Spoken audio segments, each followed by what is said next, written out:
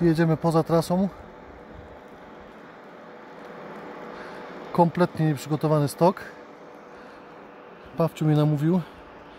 Na, ra... na razie jeszcze tak bardzo nie żałuję.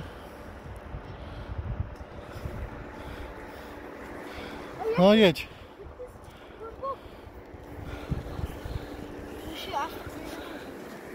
Tylko tutaj omiń to, bo tu może być jakieś jezioro. Dobra. Jedziemy. O.